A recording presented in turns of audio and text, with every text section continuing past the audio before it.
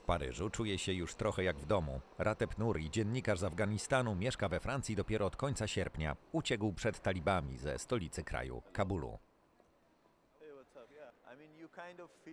Czasami czuję się tu bardzo osamotniony i denerwuję się, kiedy widzę, że tutaj wszystko jest takie normalne i spokojne, w moim kraju jest wojna.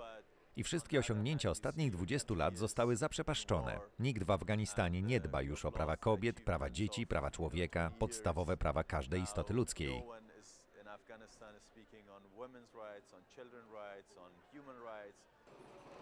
Nuri prowadził biuro Radia Wolna Europa w Kabulu. Pracował też dla francuskiej agencji informacyjnej. To sprawiło, że talibowie wzięli go na celownik. Dziennikarz wraz z żoną uciekł do Paryża. Kobieta jest w ciąży i musiała zostawić swoją rodzinę w Kabulu.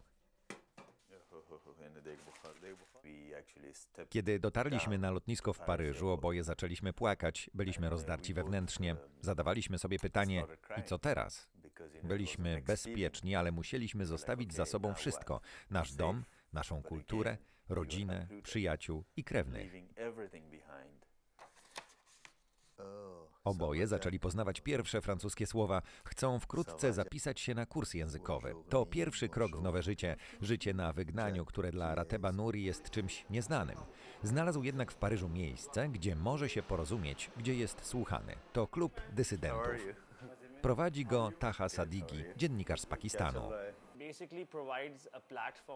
Klub dysydentów jest otwarty dla wszystkich, którzy chcą być aktywni politycznie nawet na emigracji. Tutaj ludzie mogą się poznawać, dzielić swoimi doświadczeniami, budować mosty między sobą i ze społeczeństwem francuskim. Sadigi musiał opuścić swój kraj, bo skrytykował pakistańskie wojsko. W 2018 roku cudem uniknął porwania przez uzbrojonych mężczyzn. Próbowali go schwytać w Islamabadzie. Uciekł do Paryża. Rok temu otworzył tu bar dla uchodźców. Dla niego to kontynuacja starej francuskiej tradycji. Tu w Paryżu zrozumiałem, co kryło się za pierwotną ideą barów i kawiarni. Są to miejsca, w których ludzie spotykają się, aby dyskutować i zajmować się różnymi problemami.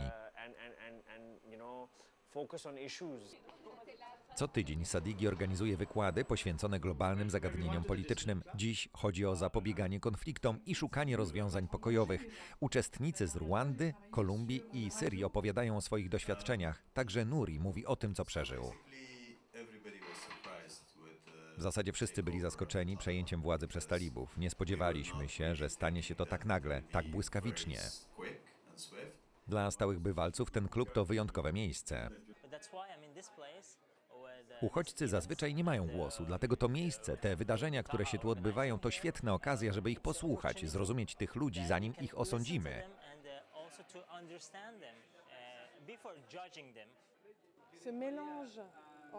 W tym barze spotykają się dziennikarze, emigranci, uchodźcy. Wymieniamy się doświadczeniami i rozmawiamy z osobami, które niekoniecznie znają się na